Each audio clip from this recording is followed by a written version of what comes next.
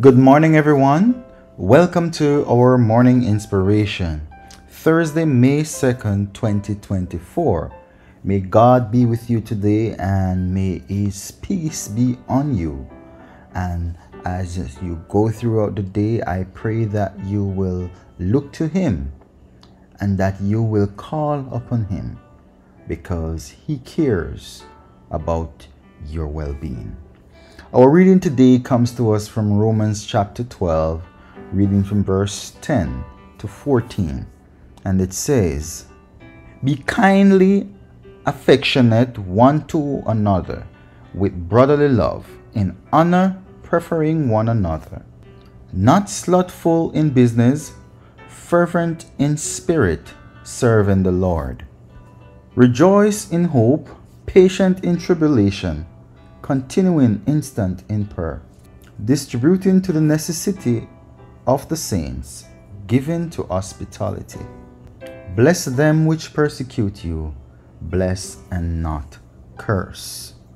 Amen.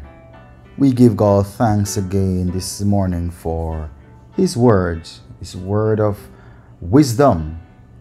And so this morning we are admonished that we should be kind towards each other. We should be affectionate and we should show brotherly love and we should not show favoritism. So, in other words, we need to treat each other with the same respect and love. I know some of us have the tendency to give preferential treatment to those we prefer or those we like, but that is not the right way to go about things or the right attitude to have. The same way you would treat a brother is the same way you should treat a sister. God does not deal in preferential treatments. The same way He treats me is the same way He treats you. And so we are to love each other equally. We are to treat each other according to His will. We need to be more loving towards each other and more kind. Selfishness must not be represented among us as followers of Christ. Selfishness need to be laid aside and we need to take on the attitude of love and forgiveness. Amen. We are encouraged that we are not supposed to be slothful in business. In other words, we must not be lazy. So whatever we are doing, we must do it to the best of our ability. We must find joy in what we do and do it as unto the Lord and not to man. Amen. We are encouraged to be fervent in the spirit. We need to serve the Lord earnestly. We need to, to, to be deliberate in our attitude as it relates to serving God. Don't let it seem like it's a job or it's a requirement. Do it because you love the Lord and you want to, to please Him. You want Him to be a part of your life and you want to be a part of His life. And in verse 12, there's this part I want you to pay keen attention to.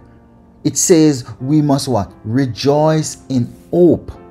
What does it mean to rejoice in hope? It means that you won't focus on your current situation. Say you are in a bind right now, but you are looking to the future with great expectation, understanding that this, your current situation, won't be like this forever. And so you are rejoicing in the victory that will come to you through the power of Christ. And so, having that hope, you remain patient in your tribulation, you remain steadfast, looking to the future with great expectancy and hope. And you continue to pray for strength and to pray in faith, believing that one day God is going to take you out of this and you will get the victory. So you see why the hope that Christian carry is not the same hope that the world carries. This is something that is unique to the life of a child of God. And so we are encouraged that we need to practice these attitudes, these gems. Because when we do this, it will be a great witness to those around us and pull others to Christ because they will see our excitement and our joy and our peace and they would want to be a part of that. We are also admonished that we need to attend to the needs of the saints. So we need to care for those amongst our brethren, those in need, those who are less fortunate, those who need a helping hand. Whatever that need is, we as brothers and sisters should reach out to each other. That's what it means to be a community, to look out for each other, and that we must be hospitable. Amen. We need to be more loving and more joined together. We need to move as one and not as a separate. And finally, we are told that we should what? Bless them that what? Persecute you. So those who are constantly at you for no reason, those who mistreat you, those who abuse you, those who use you, those who do all manner of evil against you without a cause. The Bible is saying that we should what? Bless them. We should treat them better than they treat us. We should not treat them as they deserve. We should what? Bless and not curse. So when somebody does something to you, you don't tell them what color is their hair. You don't tell them the hottest word that comes to your mouth. But instead, you you you speak words of life to them. You be kind. You be positive. So don't stoop to their level, but lift yourself up even more by the grace of God, by standing in your integrity and remaining steadfast in the righteousness of Christ.